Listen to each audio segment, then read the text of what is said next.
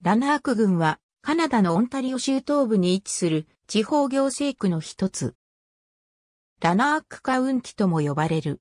行政府である郡庁所在地はパースに置かれている。ラナークの名は英国スコットランドの町ラナークから取って名付けられた。ラナーク郡は小さなコミュニティが集まってできており、代表的な町はパース、カールトンプレイス、ミシシッピミルズ、スミスフォールズなどがある。オンタリオ州東部を流れるテイ川にあるパースは、オンタリオ州で最も美しい町として知られている。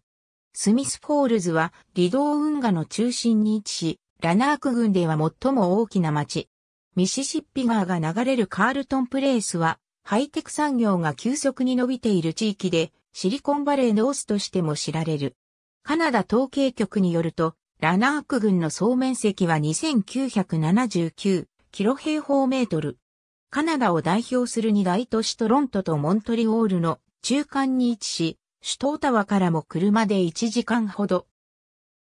綺麗な田園風景が広がっており、100以上もの湖がある。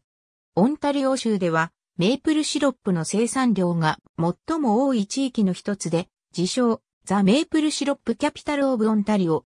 木材業、繊維工業、観光、2006コミュニティプロファイルズ、コミュニティハイライツ4、ラナークカウンティ。2008年5月13日閲覧。ありがとうございます。